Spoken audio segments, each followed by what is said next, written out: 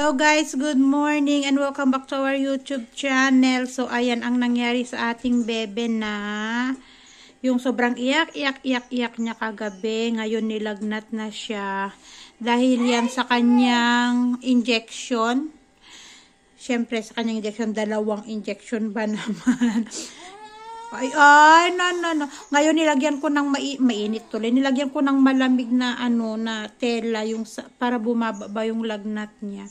Ayan ang kanyang tingnan nyo guys oh na mag uh, ayan siya oh.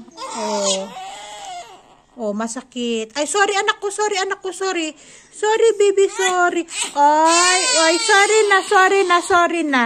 Sorry na, ayun, unlucky as in mag, magkabilaan. Kaya yan yung iniinda niya.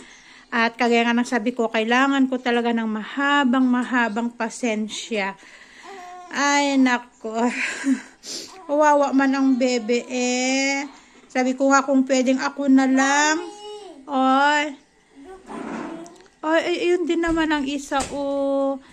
Hmm. Naggagawa siya ng nagsasagot siya sa kanyang nagsasagot siya sa kanyang ano libro. Walang pasok ngayon, bigla-bigla lang nag-announce sila na holiday daw ngayon. Holiday daw ngayon dito sa Nepal, sabi nila. Ay, wawa man ang bebe. Kung pwede lang si mami, saluhin ni mami ng sakit bebe na. Para hindi mahirapan ang bebe loves. Ang bunso namin, oy wawa man. Di bali anak, yung injection ay para sa'yo naman yan. Protection yan sa'yo anak ko. Kaya tiis-tiis lang tayo na. Yes, oo, tiis-tiis lang baby na. Hello guys, good morning and welcome back to our YouTube channel. So kagaya nakikita nyo guys, nagluluto ako ng aming agahan. So, magluluto ako ng ginisang manok na may patola.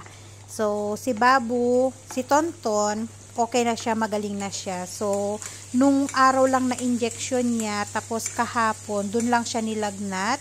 Dahil nga, dalawa yung injection niya, ba diba? Tapos, namaga kasi yung magkabilang legs niya. Kaya, yun, nalagnat siya. Which is normal naman talaga kapag na-injectionan yung bata. Pero ang ginawa ko nga, nung gabi na medyo naaburido na rin ako kasi alam nyo yung ginawa mo na lahat tapos ayaw pa rin tumigil. Ang ginawa namin na remedyo kasi yung unang ginawa ko cold cold water lang tapos inilubog ko lang dun yung tela tapos idinampi-dampi ko sa kanyang legs. Ayaw talaga. So ang ginawa namin yung yelo talaga binalot namin sa lampin tapos yun yung ipinang uh, alam nyo yon yung ipinanglagay-lagay-lagay kung ganyan sa may binti niya, doon siya tumigil. Siguro dahil sa sobrang lamig ng yelo na manhid na yung legs niya, kaya nahimasmasan din siguro. At saka nag, nagbigay din ako sa kanya ng paracetamol guys, kasi yun nga, may lagnat siya. So, bali tinanong muna namin yung doktor. Hindi namin siya basta-basta binigyan ng paracetamol guys. Bali tinanong namin yung doktor muna kung ano yung pwedeng remedyo kasi nga nilagnat siya sa sa ano niya sa injection niya. So ang sabi naman nung doktor na uh, dampian lang siya ng yelo tapos bigyan siya ng paracetamol. So binigyan namin siya ng paracetamol bali 0.5 ml yung binigay niya. Tapos sabi niya kapag mataas talagang lagnat 4 times pero kapag hindi naman bal, parang sa umaga lang, tanghali, ganun parang 3 times lang pero yung kay Tonton kasi, ang nangyari, so, matas ang lagnat niya, pero nung pinainom namin, umokay naman. Pero nung sa umaga, nilagnat ulit, kaya pinainom namin ulit. So, hanggang sa maghapon, umokay naman siya kahapon, guys. Kaya ngayon, magaling na si Tonton, wala na siyang lagnat. Hindi na rin masakit ang kanyang legs. Kaya medyo masarap na yung tulog niya sa sa kanyang duyan. Kaya eto ako ngayon nakakapagluto kahit papano ng aming ulam. Kasi si Asis ay umalis, busy siya sa pamamasada. May inihatid na naman siya na sampung katao para mangisda daw. Kaya sabi ko, paano nagkasya ang sampung katao sa tuktok, isang beses niya lang na ano. Pinagpatong-patong niya na yung mga pasahero niya kasi 'di ba may likod 'yon yung sa lagayan ng gamit, may nakaupo doon, tapos apat daw sa upuan, tapos dalawa sa tabi niya. Yun, pinagkasa niya yung sampo. Kaya sabi ko baka ma alam nyo yon ma-overload naman yung tuktok. Sabi ko baka masira naman asis, mas malaking problema ha. Kasi alam mo yon yung pinagkakasya niya lahat, isang anuhan lang, isang puntahan lang. So, yun nga guys, si Asis kasi hindi man makatanggi kasi iniisip niya, sayang nga naman kasi yung kikitain niya guys kapag hindi siya pumunta.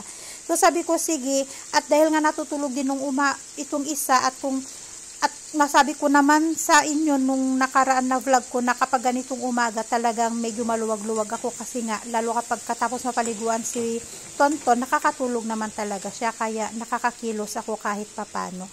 So ayan, kaya nakikita nyo guys, naglagay na tayo ng mga seasonings. Naglagay ako dyan ng masala, meat masala, tapos yung 7 spices na masala, salt and pepper. So prinito ko muna yung isda, ay yung isda, yung chicken. Pasensya na. Pinuto muna natin yung chicken. At kung nakita nyo, hindi rin ako naghugas ng chicken, no? Kasi nahugasan na yan, guys. Nung kinat, nahugasan na yan. Kaya hindi ko na rin na siya hinugasan. So, ginisang patola po, guys, yung niluluto ko. Ginisang patola lang. Hindi siya tinola. Basta, at kung makikita nyo din, yung cut ng patola ay medyo malalaki. Kasi nga, para ayaw ko kasi nung patola na durug na durug ba. So, alam nyo yung patola na hinaluan ng konting manok, parang ganun sana, pero baliktad, manok na hina, tu, hinahuluan naman ng patola, parang yun. Yan yung lulutuin natin. Ngayong araw na to, and ayan na nga, kumulo na, ayan, kumulo na siya, luto na yung ating chicken, and oras na rin para ilagay natin yung ating upo. Naglagay din pala ako dyan ng ano guys, ng siling, anong tawag doon? Yung siling pang sinigang yan, medyo maanghang siya pero hindi naman maanghang na maanghang yung sili na nilagay ko diyan. So, ayun. Eh, nito mga nakaraan-nakaraan, medyo busy-busy si Asi sa kanyang pamamasada kasi nga sabi niya sa akin, sayang din, kailangan din niyang kumita kahit papano para may panggastos kami at pangbili-bili din kami ng pagkain dito sa bahay.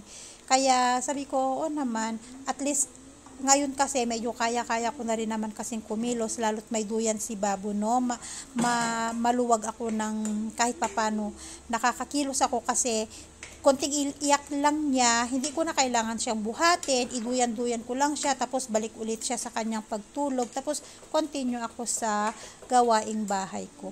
Pero nandyan pa rin si Asis, lalo sa hapon guys, nandyan si Asis nakalalay sa akin. Kasi sabi ko sa kanya, hirap talaga akong kumilos sa hapon, kaya ang gawin mo, sabi ko, pag, pagpatak ng alas 6 sa hapon, tumigil ka na sa pamamasada mo, sabi ko nga sa kanya, at ikaw na yung magluto sa hapon kasi alam mo naman na medyo hirap ako. Bali dito guys, nagising na si Babu. Ayan, karga-karga ko dyan si Babu na hindi pa ako tapos magluto. Karga-karga ko siya and nagkataon naman na luto na to. Okay na yung ating patola kaya papatayin na natin. At dumating na nga ang ating Kuya Asher at nagagawa na kami ng homework habang nagpapadede naman ako kay Tonton. Kasi sabi ko sa kanya, kapag katapos niya ng homework niya, pwede na siyang manood ng TV at kailangan matapos din ang homework niya ngayon kasi bukas pupunta kami kina Tita Josibel niya. At doon kami magse-celebrate ng Mother's Day. And Happy Mother's Day pala sa inyong lahat guys. And itong ginagawa ni Asher, ang assignment niya ay may community. Ayan. Yung school, house, hospital, police station, yun naman. Kung ano yung pinagawa sa school, yun pa rin naman ang assignment niya dito sa bahay.